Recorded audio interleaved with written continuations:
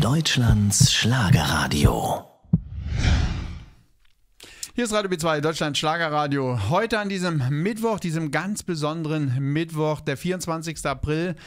Morgen jährt sich ein besonderer Tag für Musikfans, ganz besonders im Osten zwischen Aalbeck und Zittau. Kannte und liebte ihn jeder, Holger Biege. Ich freue mich, dass sein Bruder Gerd Christian heute zu mir gekommen ist. Hallo Gerd. Ja, ich freue mich, dass du mich eingeladen hast. Also ich, ich hole noch ran, Gerd Christian, Biege, in Klammern. So, ne, Biege, genau, du bist ja. Äh, der Biege. So der, die Vertretung für, für Holger jetzt. So, und ähm, die erste Frage, die ich gleich an dich habe, ja. es ist tatsächlich so, dass Stimmen, also eure Stimmen ähneln sich ja auch frappierend. Ja. Ja. Ist das tatsächlich Erbgut? Das ist Erbgut, würde ich sagen. Das ist, wir sind Brüder, wir sind äh, zweieinhalb, also zwei Jahre auseinander nur, ja. haben die gleichen Eltern und äh, singen seit äh, unserer Geburt. Ja, ähm, das heißt, du bist der etwas ältere. Ich bin zwei Jahre, ich habe zwei Jahre vorher bekommen. Holger wurde nur 60 Jahre. Ja. Ähm, morgen jährt sich sein Todestag. Ja. Da wollen wir erstmal als erstes gleich sagen, dass es eine Einladung gibt, gerne auch für Sie, unsere Hörerinnen und Hörer in Mecklenburg-Vorpommern. In Greifswald haben wir auch eine Frequenz. Ihr werdet eine Gedenktafel einweihen. Ja, äh, morgen wird in Greifswald eine Tafel angebracht, eine Gedenktafel in der Goethestraße 7. Und da sind natürlich auch Fans und Freunde von Holger Das Biege. ist euer Kinderhaus, euer Geburtshaus. Da sind wir beide geboren. Und ich, wie gesagt, zwei Jahre vor ihm, ich habe schon mal gewartet auf ihn. Und dann ja. nach zwei Jahren kam Holger. Ja, ähm, wir werden uns darüber unterhalten, wie eure Kindheit verlief, wie das kam. Und Holger war ja auch tatsächlich so eine Art Wunderkind. Trotzdem hast du ja. ihm in Berlin dann äh, untergebracht, wenn ich das mal so sagen darf, hast ihn in die Öffentlichkeit geschubst. Späterhin hin, ja. In der Langkantstraße in Weißensee. Ich habe ihn in die Branche geschubst. So, ne? Darüber ja. werden wir gleich reden. Jetzt erstmal überreichen wir eine musikalische Visitenkarte von diesem musikalischen Genie, das kann man nicht anders sagen. Holger Bieger, hier ist er.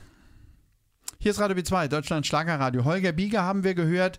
Gleich hören wir auch Gerd Christian, denn Holger Bieger hat ja für dich viele Songs geschrieben, auch deinen ganz großen Hit. Ja, den größten, der sich über eine Million mal verkauft hat. Der Titel Saki auch, in, in Klammern, ich liebe sie immer noch. Ja. Äh, kennt jeder so auch mit dieser Zeile.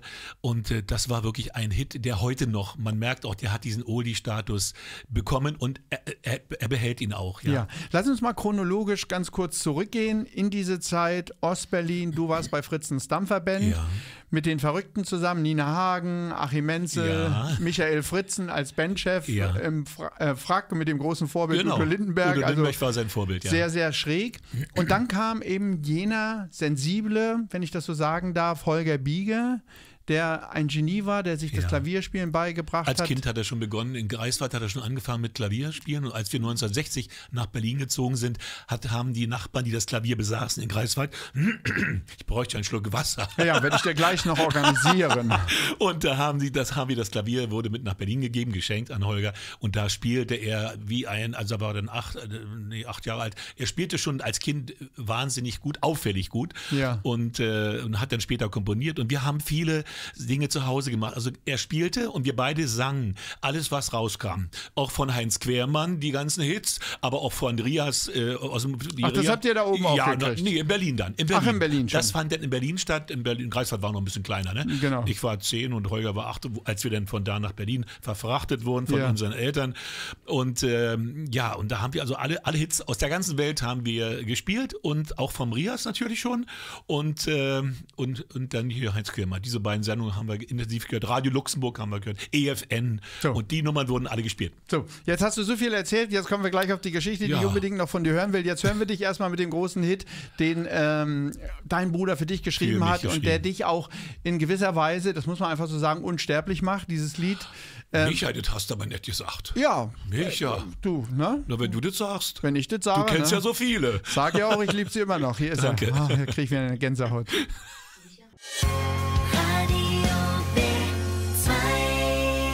Deutschlands Schlagerradio.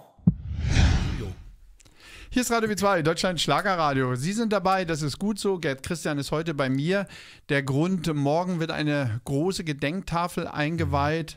Sein Bruder Holger Biege. Morgen jährt sich der Todestag. Ich hatte ja. vorhin einen kleinen Rechenfehler im Kopf. 65 Jahre ist er nur ja, geworden. Korrekt, ja. Viel zu ja. jung, muss man einfach sagen. Absolut. Ähm, Wir wollen äh, über diesen besonderen Künstler reden. Es gibt eine Geschichte aus diesem Musikerclub in Berlin-Weißensee, Langkantstraße, Genau, genau. Ähm, wo jeder so, da haben die Musiker so Sessions gemacht und Ja. so. Die guten, sehr gute. Die sehr guten Mm, ja, ja. und trotzdem war immer ein leichtes Stimmengewirr. Jeder hat so seine äh, neuesten Anekdoten erzählt. Genau, war so Und ein- dann kam eben jener Holger Biege, damals noch ein junger Bengel, ja, genau, genau. Mit seinem älteren Bruder. mit seinem älteren Bruder und äh, Holger sang und spielte und plötzlich wurde es, und es waren ja alles Kollegen, das ist ein schweres Auditorium, es wurde Ja, immer ja. leiser, immer leiser, immer Ja. leiser. Man konnte die berühmte Stecknadel tatsächlich hören. Ja, buchstäblich. Und irgendeiner sagte, wer ist denn dieser geniale Musiker? Das war der Trompeter Lenz von Lenz, ein äh, Knispel hieß er. und Knispel. Knispel. Und, und Gerd Christian Biege stand da und sagt, das ist mein kleiner Bruder. Ja, das ist mein kleiner Bruder, ich Stimmt gesagt. wirklich, ne? Und da sagt er, wo kommt der denn? Ich sage, noch unsere Wohnung. Ja, und, und, und äh, keiner kannte ihn. Und ich hab, er wollte nie mit. Und, und er wollte auch nicht in diese Branche, in der ich ja schon war, weil ich ja durch die Dampferband schon 73 eher angefangen hatte als er. Und meine Mutter hat gesagt, na, wenn er nicht will, braucht er ja auch nicht. Ich sage, Mutti, der muss singen. Ja. Wer so eine Stimme hat, muss singen. Und da habe ich mitgeschleift, da kam er mit. Und von Stund an, das war die Initialzündung, kann man sagen, in der Langkantstraße, Weißensee. Und da war dann mit einem, einem Schlag bekannt und alle sprachen in Berlin, die, die maßgeblichen Leute sprachen von diesem äh, ominösen Holger Biege, den vorher keiner gesehen hatte. Ja. Was das für eine Stimme und der überhaupt, wo kommt er her und spielt ja wahnsinnig Klavier, ne? Ja. Also, Morgen jährt sich dieser Todestag. Der Tod selber überschattet von einer schweren Krankheit. Er hat Ja. einen Schlaganfall bekommen. Ja. Ähm, Schlaganfall ist ja, wenn man es rechtzeitig entdeckt, kann man viel machen Mhm. noch. Äh, man muss ganz schnell sein. Bei ihm ging das leider schief. Er konnte gar Ja. nicht mehr kommunizieren zum Ja. Schluss. Auch für dich eine sehr schwere Zeit.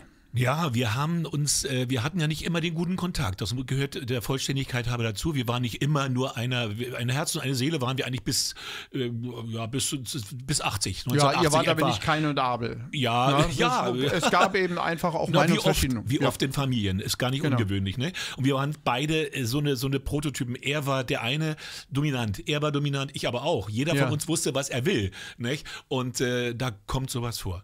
Und ähm, ja, und wir haben uns dann drei Jahre vor seinem Tod, da haben die Frauen, also meine Frau Rosi und die, seine Frau Cordy, die haben da Brücken geschlagen und da bin ich äh, zu ihm in, in den Westteil Deutschlands gefahren und da haben wir dann, äh, haben wir uns vertragen, aber nicht mehr mit Worten, sondern mit Blick und Gesten, mit Gesten und, und Blicken. Ne? Gut so, ne? Ja, war sehr gut für mich. Ja. Gott sei Dank. Jetzt hören wir Holger Bieger, wir werden gleich weiterreden, dich auch noch singen hören, denn was mich interessiert, inwieweit seine Flucht aus der damaligen DDR dir auch zu schaffen gemacht hat, das interessiert mich persönlich. Sie bleiben bei uns, wird richtig spannend. Unser Gast heute Gerd Christian Biege, der Bruder von Holger Ja. B2.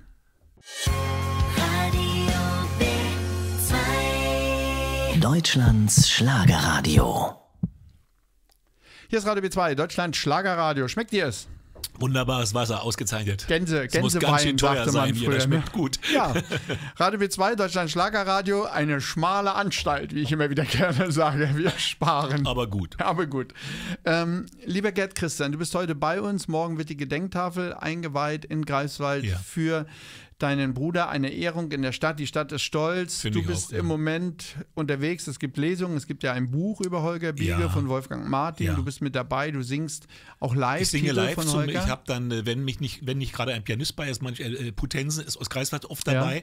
Äh, Thomas Putensen, ein Unikum am Klavier und der begleitet mich oder auch der Manuel Schmidt von Stern Meißen Ja, begleitet mich war. auch. Saß ja auf tolle Stuhl Leute. des Öfteren. Und wenn die aber nicht da sind, dann singe ich alleine zum High Playback, also ich hundertprozentig live Ja. Und auf dem Band ist nur Klavier drauf. Ja. Und dazu singe ich dann und die Leute sind, es ist unglaublich, Ja. was da passiert. Viele weinen oft. Wir hatten neulich eine Veranstaltung in Berlin, äh, Neu-Helgoland.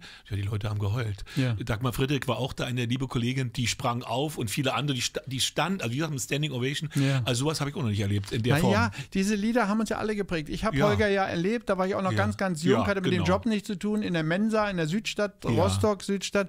Und wir waren ja alle hin und weg. Das Ja, war ja ja. für uns, das war ja genial, dieser War Mann. wirklich, ne? war zu, auch zu der Zeit muss man denken, er sang wie kein anderer im, Ost, im Ostdeutschland, also Ja. im Ostdeutschland.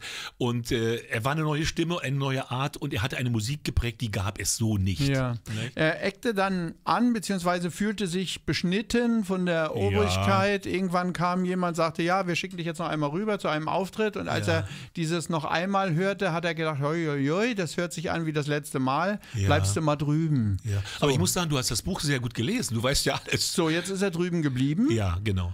Und äh, da gab es ja noch Familienzusammenführung, ne? die Familie und so. Ne? Ja, naja, äh, also diesen Teil möchte ich gar nicht so groß besprechen, okay. lieber, lieber Micha, weil, weil da, da, da halte ich mich so mit raus. Wie war das es, aber mit dir? Wie, wie, wie sind ja, mit dir die Medien umgegangen? Ja, dazu könnte ich sagen, weil das habe ich dann wieder selber, rum, selber erlebt. Also meine Titel wurden aus dem Rundfunk rausgenommen, die gab es, die wurden nicht, ich wurde jahrelang nicht mehr gespielt. Echt, ja? Ja. Und dann äh, im Fernsehen gab es auch nicht mehr eine ganze Weile, ganze, ganze Weile. Und irgendwann, weil die immer gedacht haben, wenn der Holger geht, weil wir mal so, wir sahen so, so, eine, so eine Freundschaft, wenn der Holger geht, geht der auch. Ja. So hieß es, hat mir mein Texter Fred Gerz mal gesagt, sagt er, man munkelt in den Kreisen, ja, welche auch immer das waren, die Kreise kannte ich nicht. Und äh, habe ich so, ich, ich, ich, bin ja bodenständiger Typ, da wo ich bin, da bleibe ich auch, ja. Genau. Ich bin, hab nicht so diese, äh, äh, war ja auch nicht so bedeutend wie Holger mit sein, mit dem allen, was er da kann. Und ähm, also irgendwo war ich da ruhiger angelegt. Ja, also das war Fernsehen war weg und Rundfunk war weg und ich durfte auch jahrelang nicht produzieren. Irgendwann habe ich dann neue Titel produziert, aber da waren, da fehlten mir einige Jahre, die ich in den, ich habe zwar auftreten können, aber ich durfte zum Beispiel, ich hatte ja ein eigenes Programm zu Gast bei Gerd Christa mit der Biegeband, mit ja. dem Rest der Biegeband ah, ja, dann noch, ja. ja. Aber ich durfte zum Beispiel aufgrund dessen nicht im Grenzgebiet singen. Ah, okay. Ja, meine Band war im Grenzgebiet und für mich kam dann Ersatz. Ich durfte dann wieder bei Magdeburg Ja, ja, ja, Bar Barleben und ja, so, ich kenne das alles. Noch. Aber ich war nie dabei. Ich, bei mir hatten sie Angst. So ein Blödsinn. Ich so werde doch nicht über die Stacheldraht hopsen. Bin doch nicht lebensmüde. So ein doofes Land, muss ja, ich ja, an dieser Stelle mal sagen. Ja, das sind so, das ist so irre, ne? Wir wollen Musik hören jetzt mal von dir und wir wollen mal was ganz Aktuelles hören, damit man weiß, dass du ja mhm. heute noch nach wie vor ja, am Ball ne, bist. Und alle zwei Jahre ein Album. So, ne, das muss man erstmal nachmachen. Das was wollen wir hören? Du darfst den Titel wünschen. Ähm, ja, muss ja. Ich auf, darf ich da mal auf das Cover sehen? Ich, ich freue mich immer, wenn Künstler ja? nicht wissen, was wir für Lieder ja, haben. alle zwei Jahre eins. Lass mal, kleinen Moment, Clement, Clement. Wir sind gerade live auf Sendung, äh, Künstler sucht sich ja, gerade ich suche aus. hier, alle gucken zu und ich suche. Drei zu. Sekunden, es ist furchtbar. Ganz Deutschland äh, wartet. Ja, auf den langweilig. Gibt es denn sowas? Rosi, wie heißt der Titel? Rosi ist seine Frau, sitzt an der Ecke, ja, ist seine Regierung. Äh, das Leben hat es gut mit uns gemeint. So. Der, wir, Micha, die sechs, glaube ich, ist das.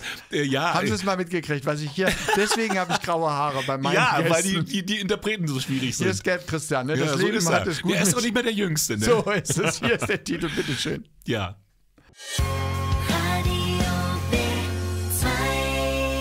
Deutschlands Schlagerradio.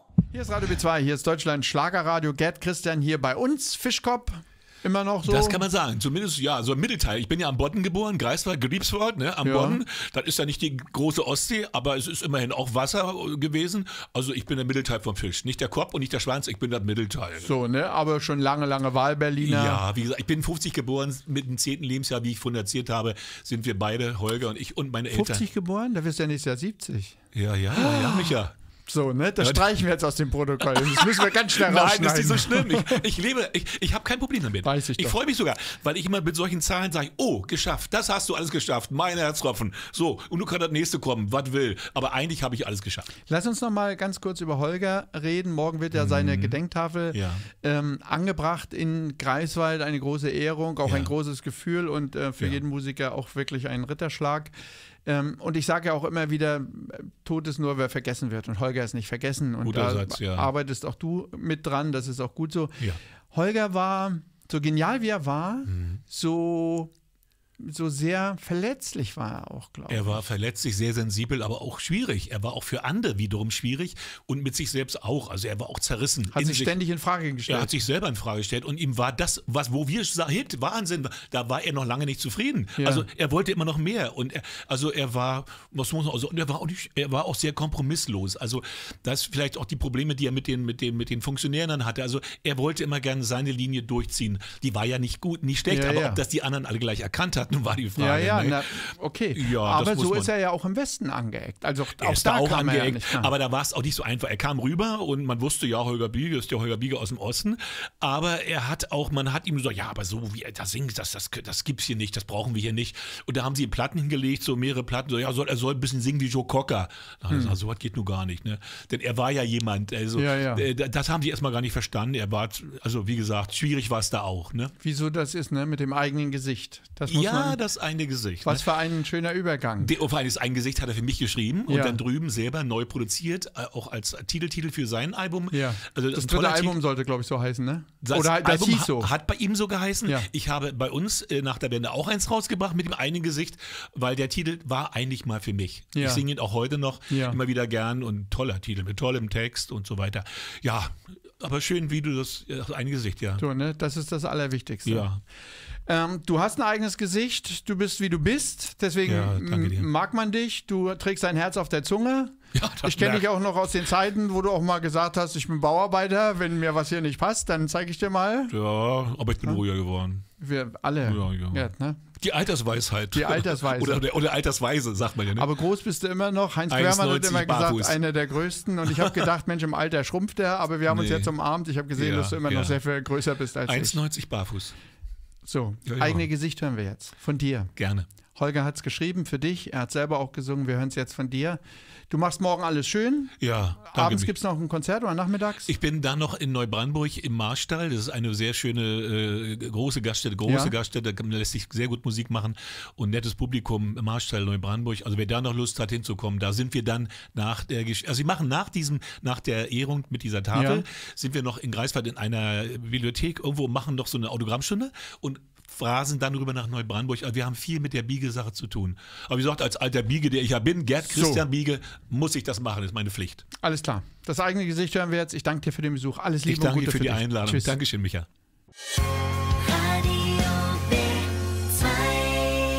Deutschlands Schlagerradio.